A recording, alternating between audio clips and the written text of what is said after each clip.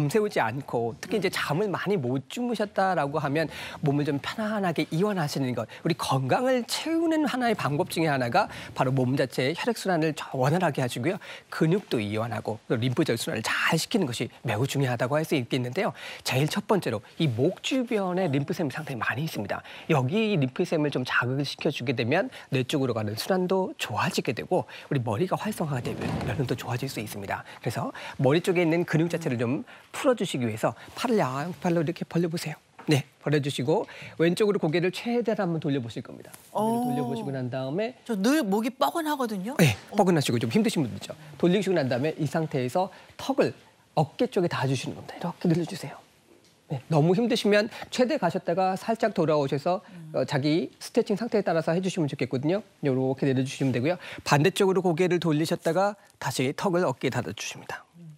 이렇게 하면 목 쪽에 있는 요 턱선이라든지 이쪽에 있는 림프 자체를 자극할 수 있는 방법이 되니까 이쪽 림프 순환을 좀 원활하게 이렇게만 해도 수 좀. 시원한데요. 네.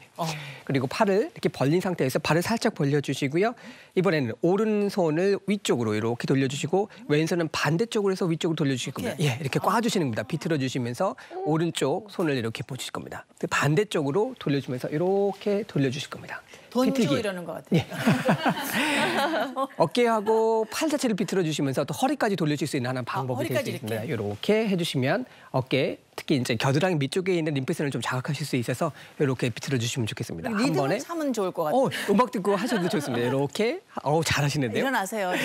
네. 앉아 시청자분들. 앉아 계시지 말고 일어나서 아, 해보시면 재밌다. 좋겠습니다. 이거 하시면 좋겠죠. 아니, 요팔 이런 데가 좀 뻐근하고 특히 시원해지는 거. 조금 더 강하게 해주시면 약간 더 이렇게 해주시고요. 아. 허리 사체 를 살짝 틀어주시면 조금 더 강하게 자극을 좀 주실 수 있겠습니다. 아, 요, 이, 이 부분이 좀 땡기고 아픈데요. 네, 맞습니다. 어깨가 좀 많이. 굳어 계시면 이쪽이 많이 아프실 수 있고 잘 안 돌아가실 수 있으니까요. 네. 같은 높이 평행 상태를 유지해 주시는 것이 제일 중요합니다. 항상 스트레스는 자세를 잘 지켜주시는 것이 매우 네. 무엇보다도 중요하실 거라고 생각이 됩니다.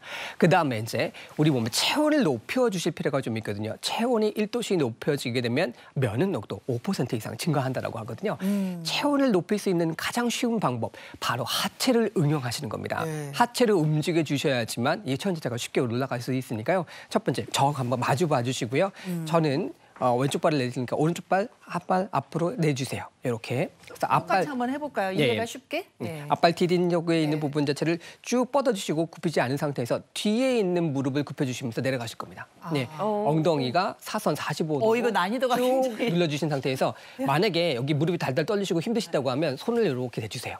여기다가 이렇게. 펴진 다리에다가 무릎에다가 쫙 다리에서 여기를 뒤쪽 다리를 눌러줘요. 쭉 펴질 수 있게끔 허벅지 햄스트링 자체가 쭉 눌려 주실 수 있게끔 살짝 마, 눌러 주시고요. 맞게 하고 있는 건가요? 예, 여기 무릎에다가 네. 아니, 무릎에다가 잡아 주시고 늘려주신 상태에서 발끝을 살짝 앞으로 이렇게 주세요.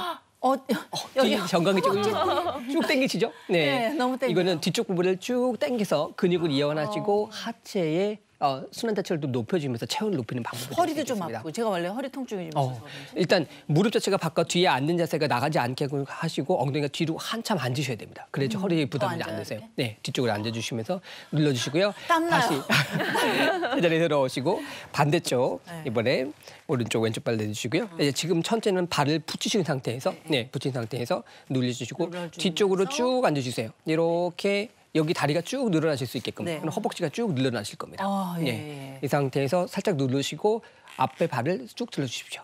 어. 뒤쪽에 있는 정화리 쪽에 근육 자체가 쭉 늘어나시는 느낌을 받으시면 예, 제일 좋습니다. 늘어나면서 예, 땡기고 당기는 증상이 아파요. 있으시죠. 시원하기도. 시원 네. 느낌이. 네. 이렇게 내려주시고 이걸 한 3회 정도 양쪽을 번갈아 가시면서 약간 땀 나면서.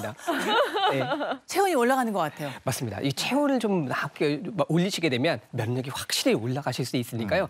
지금 시청자분들 따라 해보시면 좋겠고 하루에 매일 한 1분 정도에서 5분 정도만 투자를 하셔도 좋거든요. 이렇게 해주시면 좋겠습니다. 네. 어, 오늘 잘 배워봤습니다. 고맙습니다.